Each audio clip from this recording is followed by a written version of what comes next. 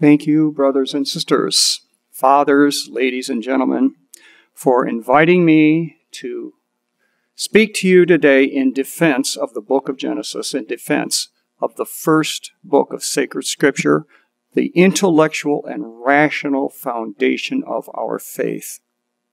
It's the, it's the book that sets our worldview. It sets the biblical Christian worldview. Um, now, this talk, I just, I, I, would call this a defense of the faith. It's an apologetic. Um, and I want to say that for apologetics, if you're going to be effective, you want an apologetic to be very easily understandable. You don't want to buffalo people when you do an apologetic. So this talk is going to be simple, straightforward, and clear. I want to talk about, first of all, what am I defending Genesis against? Well, basically, um, there is a theory rampant among the churches today and in the world called the documentary hypothesis, or sometimes called the JEPD theory, which asserts that Genesis, two, two basic things about Genesis. First of all, Genesis isn't really true, it's a myth. And it wasn't written by Moses. It was written by a series of unknown people over many, many centuries, maybe 900 or 1,000 years. And it goes something like this. Um, the book of Genesis, you know, if you look into the ancient Middle East, where Genesis obviously was arose from, you'll see that primitive people there had um, myths about the creation, about the flood, about the Tower of Babel and the scattering of languages that happened there. And basically, the theory is that some Hebrew redactors, editors, um, borrowed from those myths, purified them in some sense, and adapted them to the Hebrew religion and put them down in the book of Genesis. In a simple term, what they're saying is that Genesis is a patchwork. We take a little bit from here, and a little bit from there, and a little bit from here, a little bit from there. And we put them together, and we've got this patchwork, especially for the first 11 chapters of Genesis, that sort of explain how the, the book came to be written down. And this happened over um, many centuries, probably ending around 2 or 300 BC, when the final product was in place. So obviously, if this is the case, two things are being claimed here. Moses did not write Genesis, and Genesis isn't really true. So in defense, in defense of this, in defense of the book of Genesis, I want to show two simple things in this presentation. I want to show that Moses wrote Genesis, and I want to show that Genesis is true. Two things. Okay? I want to start out with some specifics about Genesis. The book of Genesis, we claim, I claim, has a certain literary unity to it. And that is something that is not necessarily obvious. So I want to start out with a simple, kind of a generalized outline of the book of Genesis. And I want to base this outline, I want to divide Genesis into nine sections, divided by the key phrase generations of generations of. It repeats in the book. This is the generations of the heavens and the earth. This is the book of the generations of Adam. This is the book of the generations.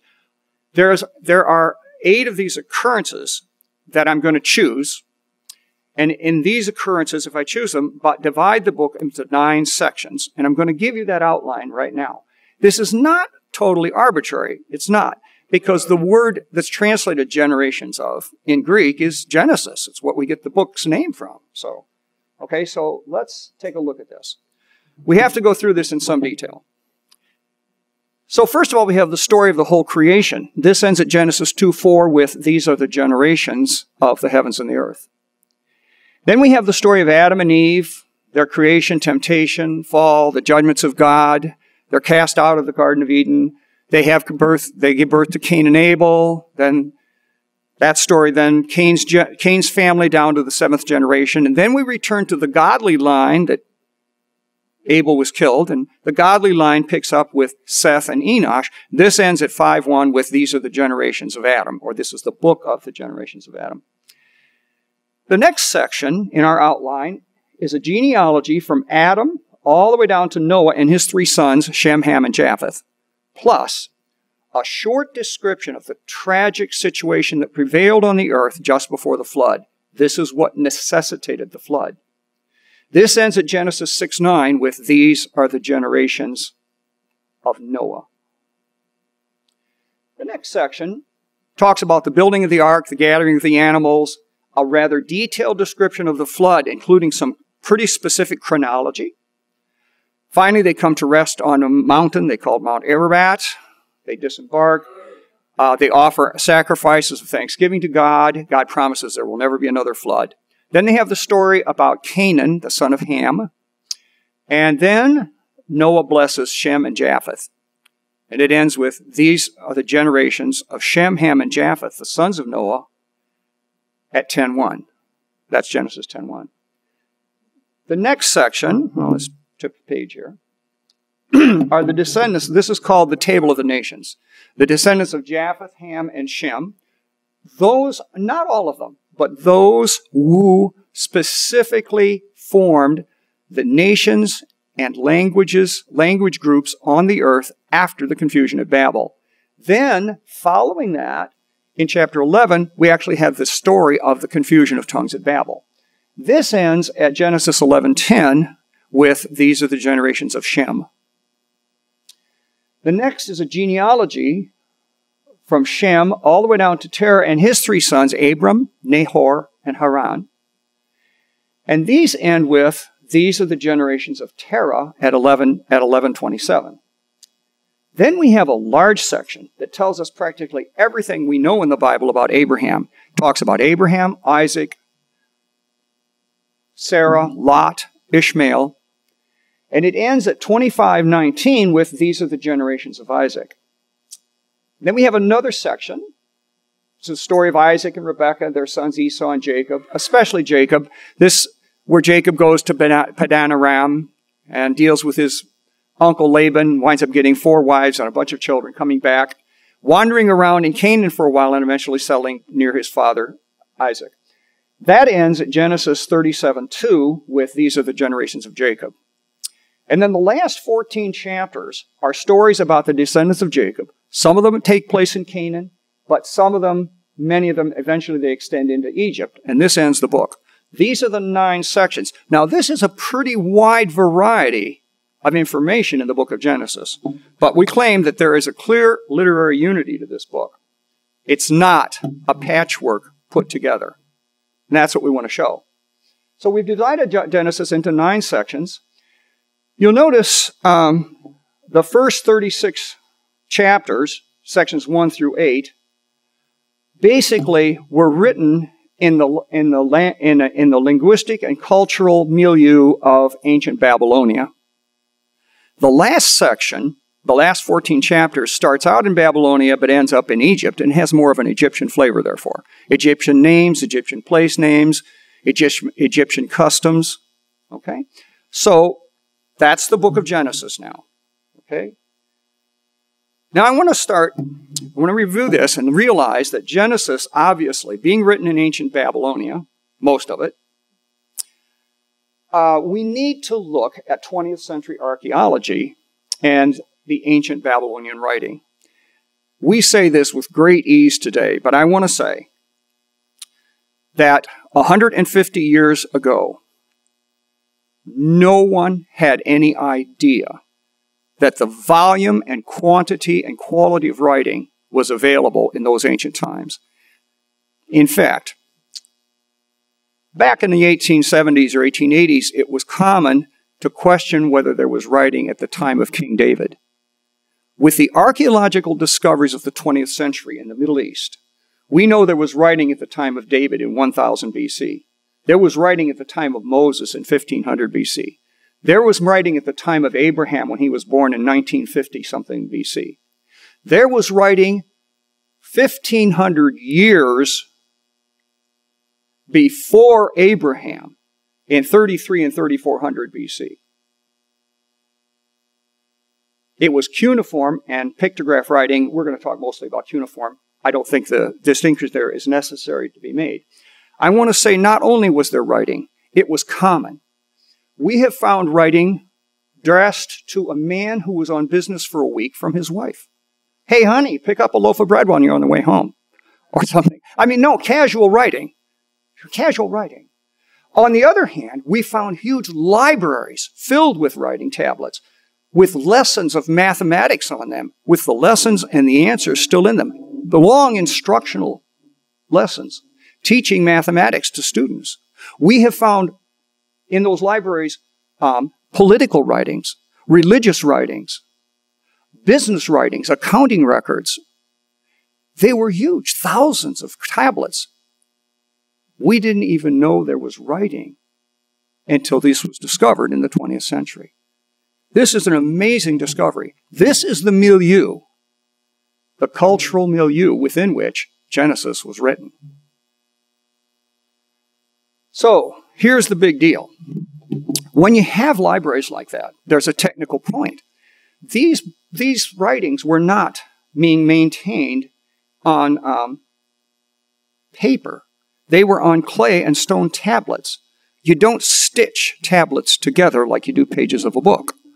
So there was an issue here. When you have thousands of these, how do you organize and keep track of all the, the information in your big libraries? They had an area at the end of the book, at the end of a tablet called the colophon. The colophon had indexing data in it, had a lot of different possible data.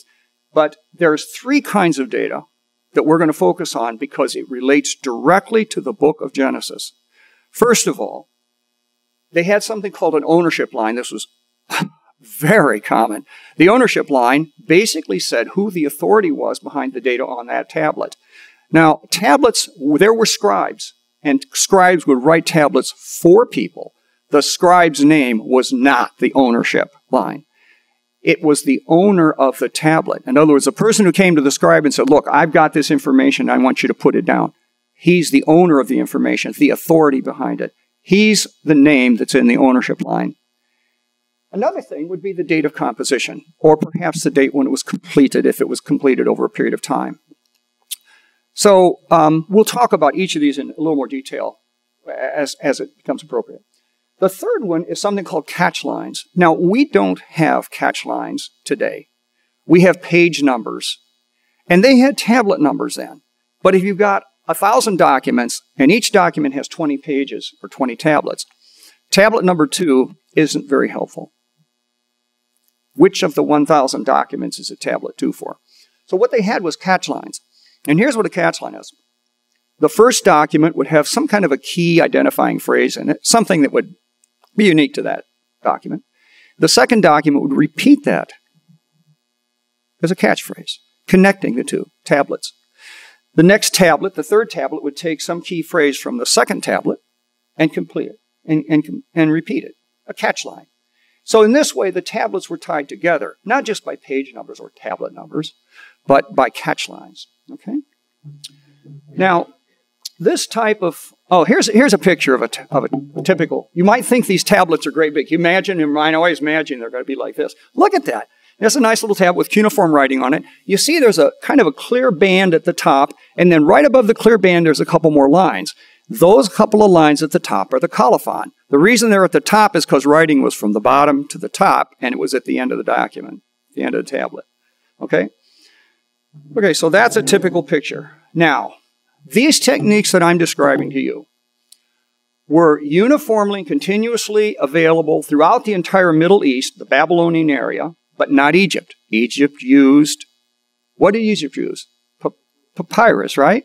Papyrus, not clay tablets. So we didn't have this in Egypt. These techniques were unique, were specific to those cultures that wrote on clay and st- stone tablets.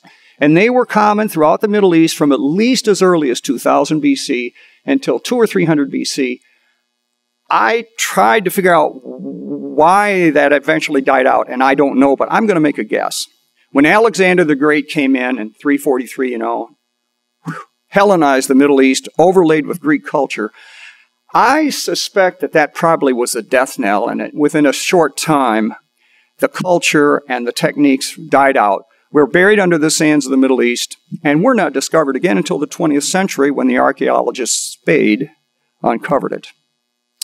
Okay? Okay, so what's the connection to Genesis? Now let's look at Genesis.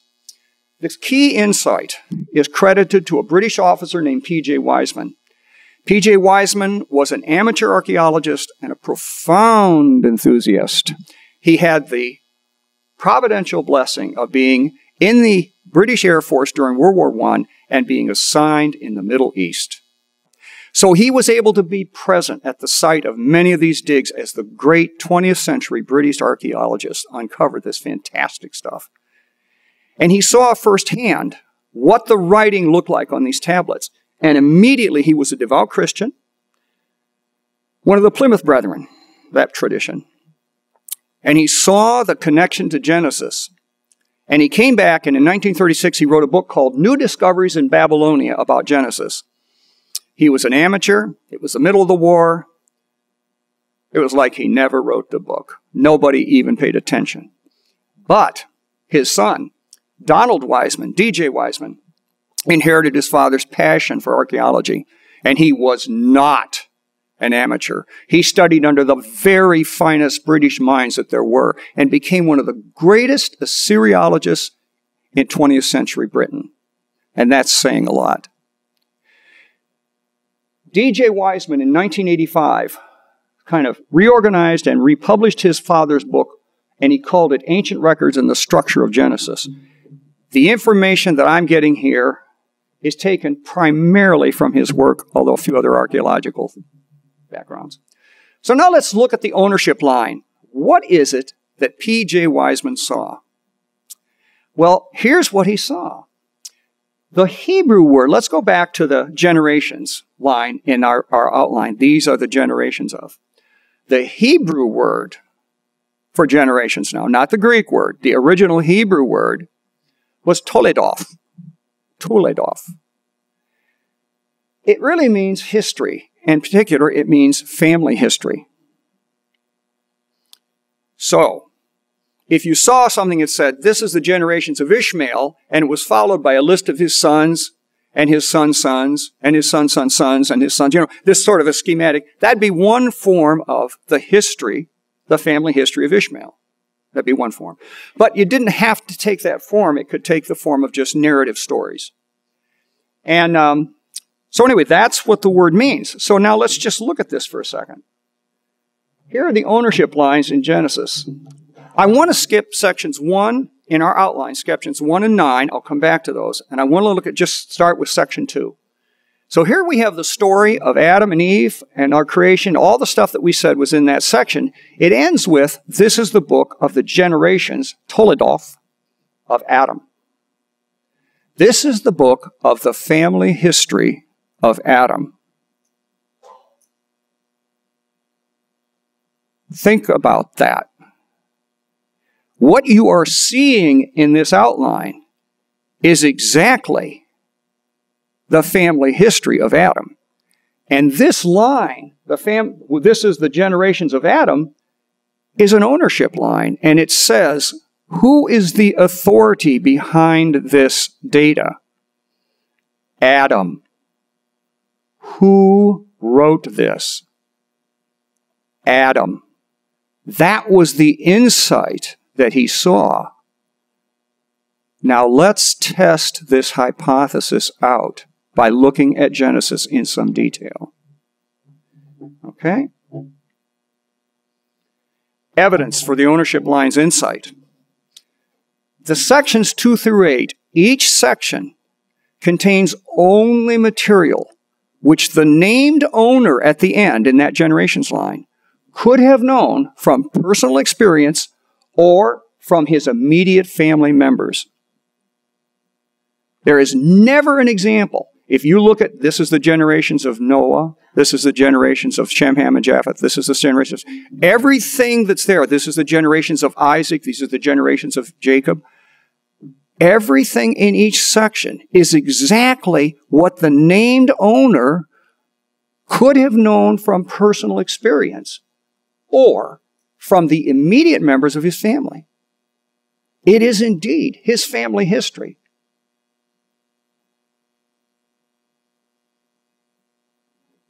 More. Second, most of those accounts extend until near the death of the owner of the account. As if he is writing the story of his life, often, and then ending near his death. Now, these, these things I'm saying here, you just have to go back and look at the book of Genesis and read it. It's right there in front of you to see. Now, I'll give you an exception to this. Uh, the, the, the story of the three sons and the, the, the story of Shem, Ham, and Japheth, that's the story of the flood, and that was obviously written to record the flood itself, not their whole life story. Okay, so there's an exception there. But there they were.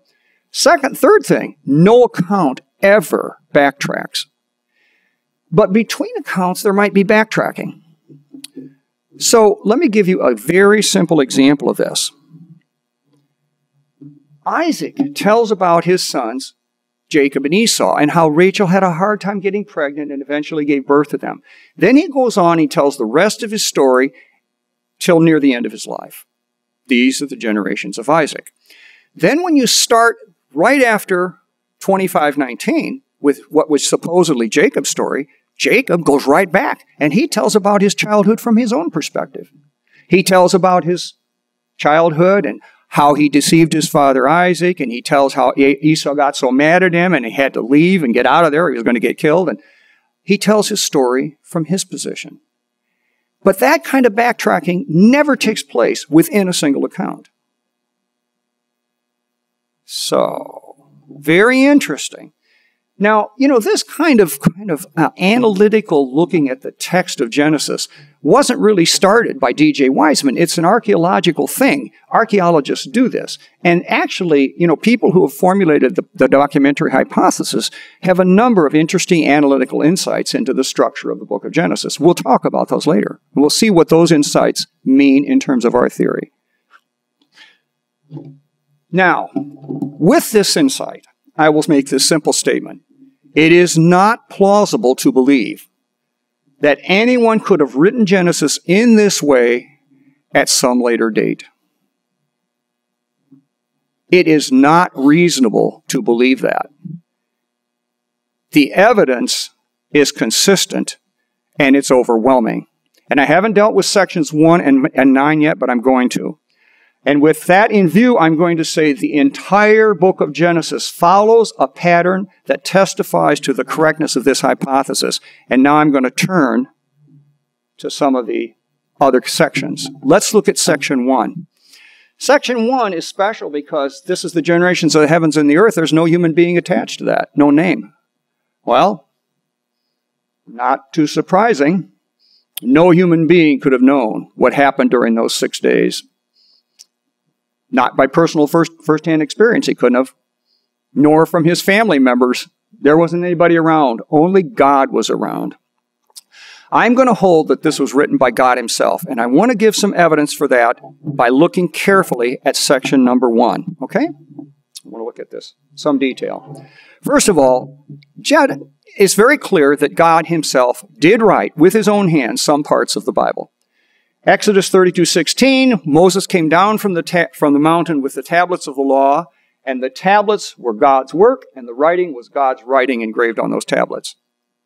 So clearly, God did write something. But for further insight into the nature of this, I want to now turn to, we just talked about ownership lines, I want to now talk about date lines and how they appear, apply to Genesis. Now, date lines, because they were part of the colophon, tended to appear near the ownership line. Okay? Examples of date lines in Old Babylonian tablets, just to start with. okay, the year in which the throne of Nabu was made. The year Samuel, the king, built the wall of Sippar. The year in which Canal Hammurabi was dug. Statements like this would be followed closely by an ownership line. Okay? Now let's turn to the book of Genesis and look at some examples of date lines. Genesis 37 1. And Jacob dwelt in the land wherein his father was a stranger in the land of Canaan. This is immediately followed by the line, These are the generations of Jacob. So this says that Jacob wrote his account when he was dwelling at Hebron, after he returned from Padan Aram with his wives, and after Isaac died. Here he is, right there in the land wherein his father was a stranger. Now he's going to write this. So, what this is basically saying is, after all of his travels, when he was getting uh, somewhat older, his father was dead, he is now sitting there, just, uh, you might say, not very long before the famine hit and they went into Egypt. He wrote this. That's what this is saying. It's a typical date line. Second date line, he rested from all his work which God had created and made. This is Genesis 2 3. Followed immediately by the line, These are the generations of the heavens and the earth. This tells us when God wrote his account. So God wrote his account on the seventh day when he was resting from his creation work. Now, that's why it does not say evening and morning the seventh day. And when I read this, I thought, this is really interesting because as I began to talk about my beliefs about Genesis, I'd have had people say to me, Oh, Mike, you know that the days of Genesis are long periods of time where we're still in the seventh day. You know, it hasn't ended yet. No evening and morning of the seventh day, we're still in it, right? Eh, no, not so. The seventh day was blessed by God. This time in history is under a curse. No, the reason it doesn't say evening and morning the seventh day is because God wrote it in the middle of the seventh day and it wasn't over yet. So he wrote this on the seventh day and gave it to Adam right away as an instructional tool to teach Adam about how he came to be. These are very important things. Adam need to know, need to know this just as much as we need to know this. How did I suddenly wake up and I'm here? Where did this whole world come from? You know, we take stuff like this for granted. We grow up from a little child and become gradually aware. Adam just, there he was. What happened? God told him, and he used this as an instructional tool. Now, I want to look at this very carefully from the archaeologist, archaeologist's point of view. I want to look at the first tablet and some of Dr. Wiseman's archaeologists' comments on this tablet. I'm just going to read his words because they're very insightful. Naturally, the wording is simple, but the truth conveyed is profound. Human as the language is, it is still the best medium God could use to communicate with man. It is God teaching Adam in a simple yet faultless way how the earth and the things which he could see on and around it had been created. The Lord God talked with Adam in the garden.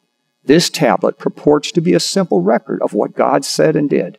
It is God teaching the first man the elemental things about the universe at the very dawn of human language. These words were spoken to the first man. This is not a vague or general account. All the reader needs to do is to realize its unique features and to compare it with those other Babylonian versions, those ancient myths that supposedly Genesis was derived from. It's nothing like them. Now let's look at some of the differences here. He highlights some of these differences. Here in this account, we get back to the very inauguration of written history, for it may have been written even before the sun and the moon had been given names. The book says, Let there be lights in the firmament. And God made two great lights, the greater light to rule the day, and the lesser light to rule the night. Then Dr. Wiseman, from his archaeological background, observes that names for the sun and the moon were some of the most ancient names of all cultures in the world. If this account had been written within the context of any of those cultures, it would not be saying the lesser light and the greater light. It would have been saying whatever the name for their, their name for the sun was or whatever their name for the moon was. But it doesn't say that. It's not just what it says. It's what it doesn't say. A trained archaeologist used to reading ancient documents sees things like this. So this book, so this was written before Names had been given to the greater and the lesser lights. Let's go on with his comments. This first chapter is so ancient that it does not contain mythical or legendary matter. These elements are entirely absent.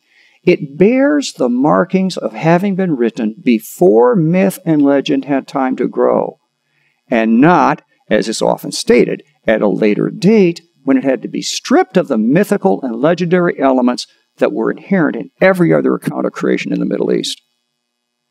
This account is so original that it does not bear a trace of any system of philosophy. It is so ancient it contains nothing that is merely nationalistic, neither Babylonian, nor Egyptian, nor Hebrew.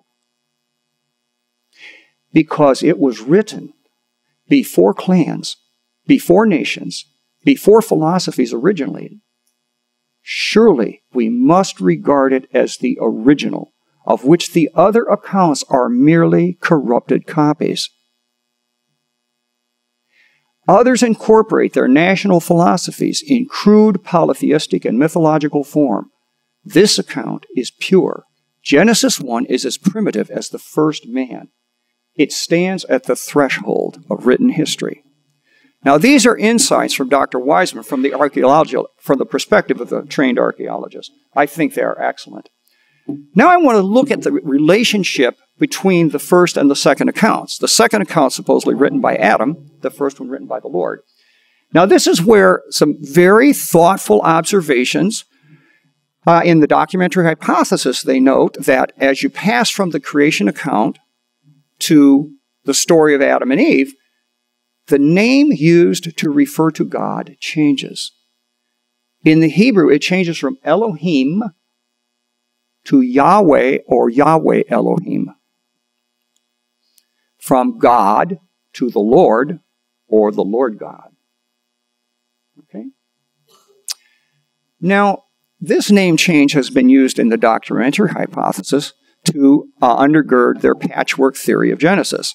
What we have here is two different creation accounts melded together, and you can tell that they're two different authors because they are two different names for God. So but one of the things the documentary hypothesis does not explain is well, why the name change? Why? What's the significance of that name change? But you see, in our position, it's very clear. When God wrote his account, he called himself God. When Adam wrote his account, he wrote it from the perspective of a creature, not the perspective of the Creator. And he called God the Lord, or the Lord God, because that's who he is in relation to Adam. Of course, he called him the Lord God. Furthermore, in the temptation scene in Genesis chapter 3, the serpent does not use Yahweh or Yahweh Elohim. He uses Elohim because he does not recognize God as his Lord, that rebellious one. And you know what? As the account goes on, you see that Eve uses the word Elohim too she's kind of called away. I think it's part of sign of what was going on there. Okay? But the rest of the account uses Yahweh or Yahweh Elohim to refer to God. This makes a lot of sense. Here's another fact, another shrewd observation the, that made in the JEPD theory. Um, certain places in Genesis there are repetitious statements. And by I mean repetitious, I mean one a statement will say something, and a second statement will basically say the same thing again in slightly different words, and maybe even a third one. I'm going to give you an example of this. And now, now, now, just once again, giving some explanation here from the documentary hypothesis, this theory would say, well, you see, this is because there are three accounts melded together here. And these three accounts were kind of clumsily edited. The person who did the editing didn't remove the duplicate statements, and so it's kind of a clumsy work. This is a word they like to use, clumsy. Clumsy editing work here. That's how we the Genesis got put together the way it did. But let's let's look at an example of this. This is an example. Genesis chapter 7, verse 18, the waters prevailed and were increased, increased greatly upon the earth. Genesis 19, and the waters prevailed exceedingly upon the earth. Genesis 20. 15 cubits upward did the waters prevail. Now, these are obviously saying about the same thing three times, three successive statements. But this phenomenon is only found in the section that is signed Shem, Ham, and Japheth. It had three authors. This particular phenomenon of two or three account, three statements in a row like this is only found in their section. No place else in the book of Genesis. Well, of course. We have three authors here. What do you expect? Of course. You can imagine the, the sons are in the ark. The waters are rushing over the land. They've never seen anything like it. And the first one says, Wow, the waters prevailed and were increased greatly upon the earth. And the second son says, Yeah, the waters prevailed exceedingly upon the earth. And the third one comes along and says, Yeah, 15 cubits upward did the waters prevail. No doubt about it. They were all very impressed by what they saw and they all wrote their sentence. But it's not like you have three accounts melded together. You have one account with three authors. Okay, this is what's going on. Okay, now let's look at the final section. The final section, as we said, started out in the land of, in Babylonia and Canaan, and wound up in Egypt. The final section has no generations line at all. It has Egyptian words and names. And we just make this note. It comes after Jacob's section. Now remember, Jacob's section was written before, just before the famine hit and he went into Egypt. So if we look at this last section, it's stories about the descendants of Jacob. Most reasonable is this Jacob went into Egypt. When he did, the, this last section had not yet been written. And while in the land of Egypt, in Goshen, his descendants wrote these other stories down, written by his descendants in the land of Egypt. Some of them related what happened to them in Canaan. Most of them related what happened to them in the land of Egypt, in Goshen, as the time wore on. That's how those are written down. But they were written on papyrus. And the Babylonian style of technique of writing wasn't available then. It wasn't, it wasn't what was practiced. So they just wrote it in, in on a papyrus in, in Egyptian form. That's why there's no generations line. That's why there's no ownership line. That's why these key stylistic indicators are absent. Okay? All right. This accounts for all nine sections of Genesis, section by section. It tells us who, by whom, how, and why the information in Genesis was originally written down. Every bit of it. The original documents, brothers and sisters, from which this arose are lost to us probably forever. We're never going to find them. But their outline is still clearly available and visible in the book of Genesis. These original nine documents, if you will, from which Genesis was written, I call the Genesis documents. These are the documents from which the present book of Genesis was written.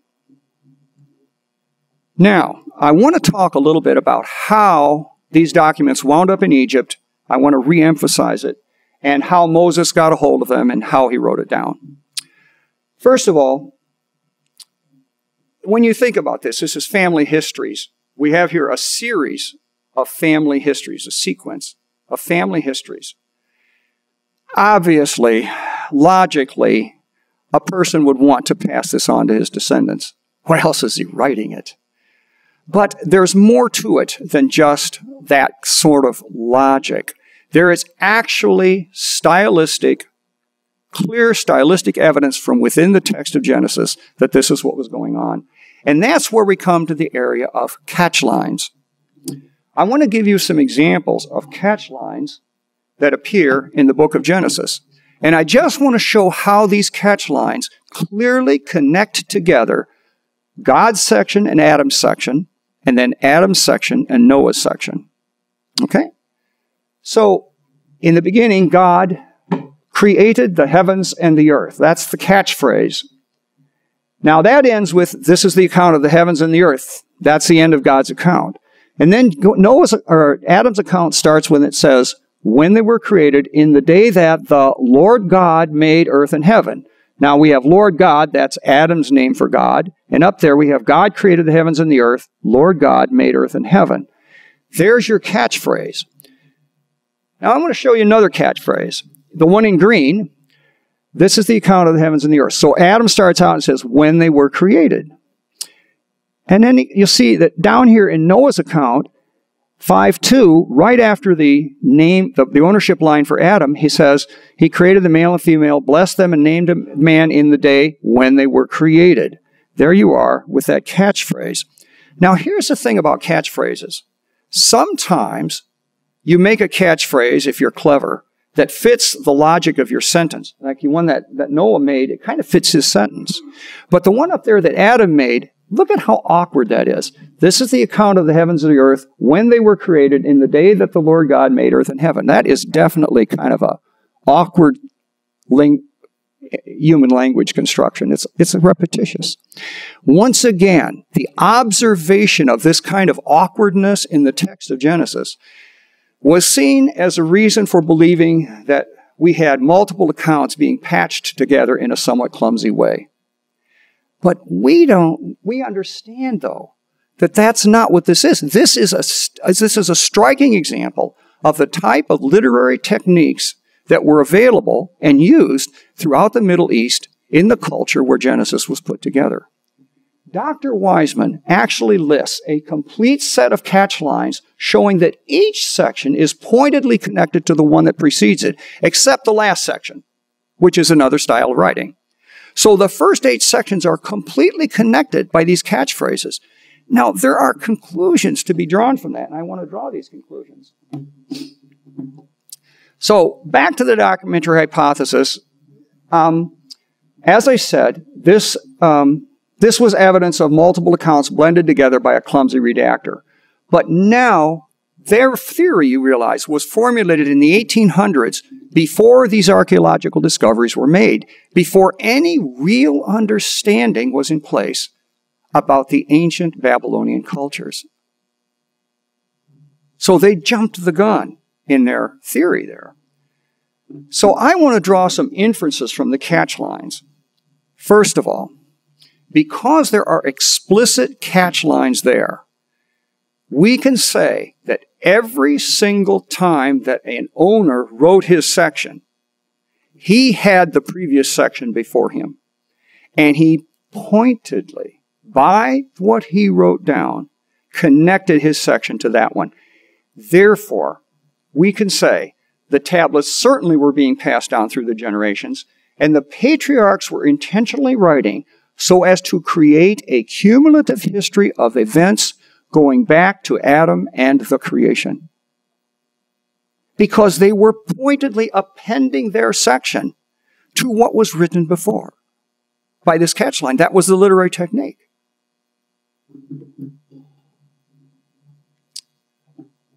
So here's some interesting observations. When Abraham left Haran after his father Terah died, he carried with him the accounts by the Lord, Adam, Noah, the sons of Noah, Shem, and his father Terah. He carried those accounts with him. And the reason he waited until his father Terah died was not because he was weak in faith and slow in obeying God's command. It was because it was his birthright to inherit those tablets as the chosen one of God. And he didn't inhabit the, inherit them until his father died. So when his father died, he left. Second, when Jacob left Canaan for Egypt at the time of the famine, he carried with him all of the accounts going back to Adam and the creation, except for the ones which the sons of Jacob added while living in the land of Goshen in Egypt, that finally brought all of the source documents to completion, the whole set of the Genesis documents. So here they are. All of these things, these writings, most of them in Babylonian technique, a few, the end, in Egyptian style, and they're there in the land of Egypt. And that's how they wound up there. Ah, a couple of centuries later, Moses comes along. Now, what does the Bible tell us about Moses? First of all, Moses was educated in all the learning of Egypt. Gen- Acts 7.32, this is Stephen's testimony before the Sanhedrin before he was martyred.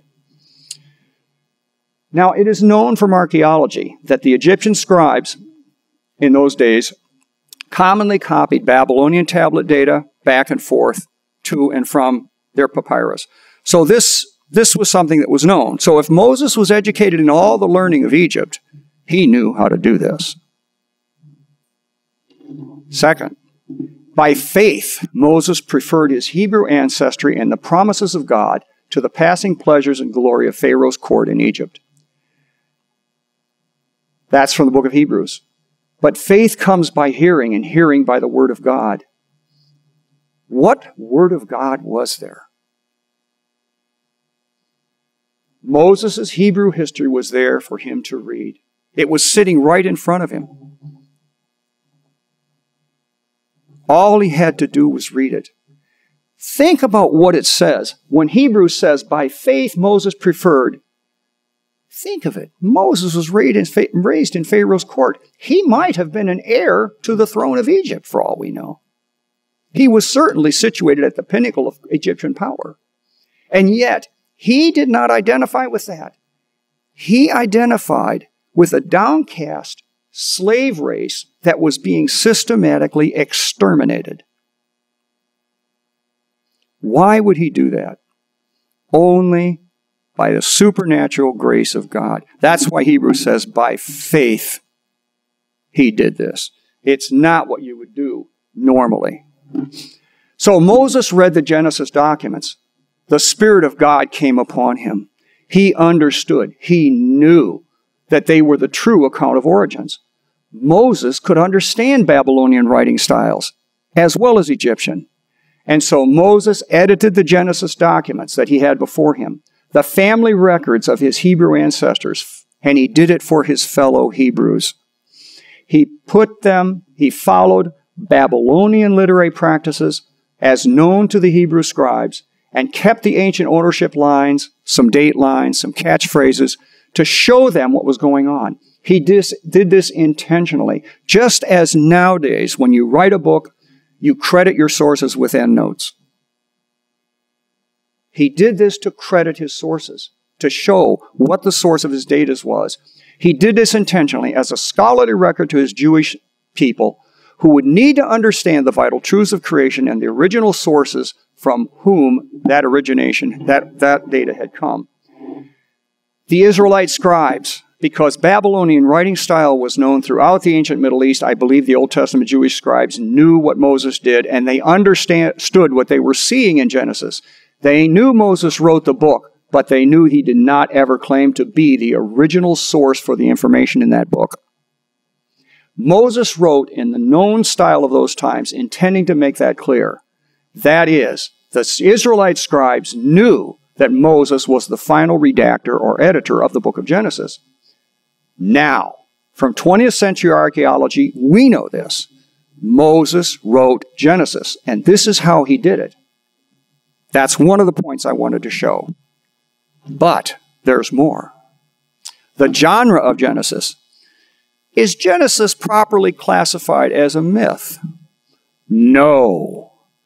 Genesis is historical narrative, more precisely, personal family history.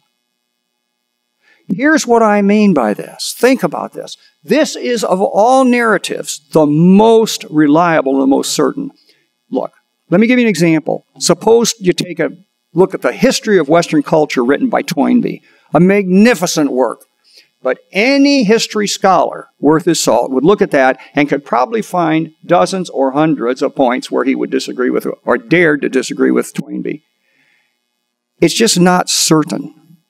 But suppose that besides that book, Toynbee sat down and wrote a simple story about how he and his wife raised his children over a period of 20 or 30 years and what they did on their family vacations and how they lived their life.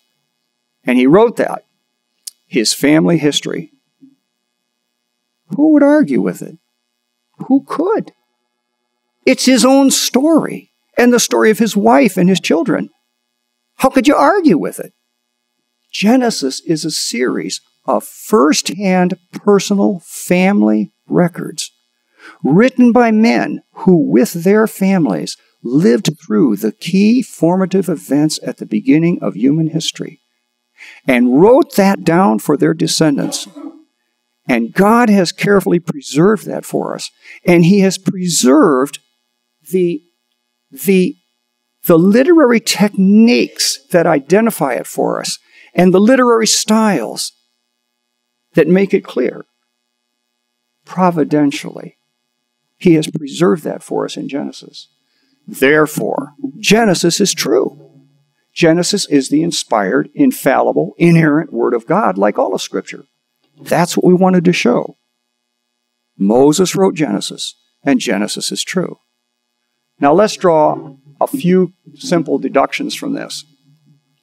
You know, brothers and sisters, one of the things that we do here is we point out the horrible faubles in various theories of origins that are being purported in our culture today.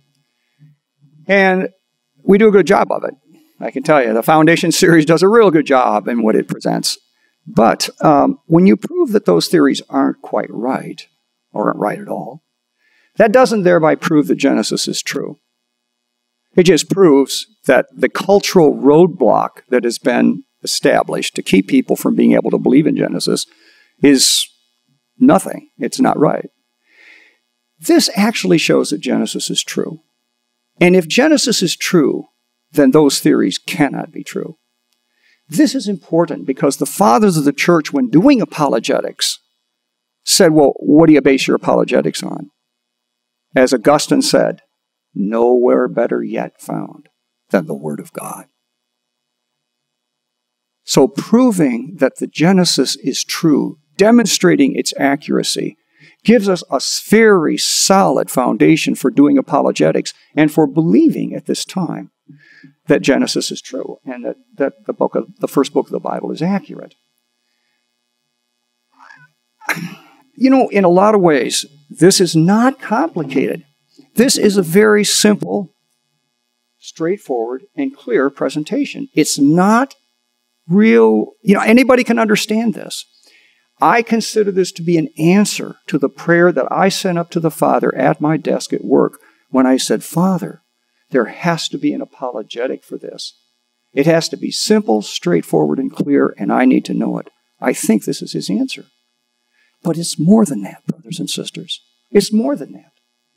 It's not just for me, it's for the church. It's a sign of the perspicacity of God who understood before the foundation of the world, as Father so explained to us, what was going to happen and planned accordingly. And in his one unified word of creation, he saw this problem that we would be facing at this time in history. And he so designed his inspiration of Moses, and he so designed the cultures of the Middle East and their literary styles, and he so arranged for the 20th century archaeology so that at this time in history, we could see, buried in the text of Genesis for anybody to see, the irrefutable evidence that Moses wrote Genesis. That Genesis is a series of first hand personal accounts, and that Genesis, therefore, is true. It's the perspicacity of God. Right? Perspicacity. Okay? God bless you, brothers, sisters. Um, I was going to say, uh, there is a more complete treatment of this. This is such an overview I've given here.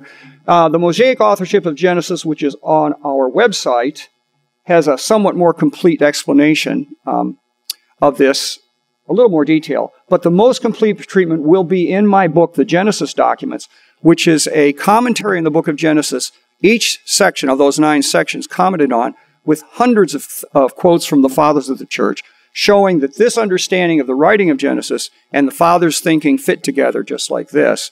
And that's why the book is called The Genesis Documents, undergirding the truth of Genesis and the ancient faith of the church. And in that, I, I have um, a lot more information about this theory and a lot more thought about it. So, okay, hold on.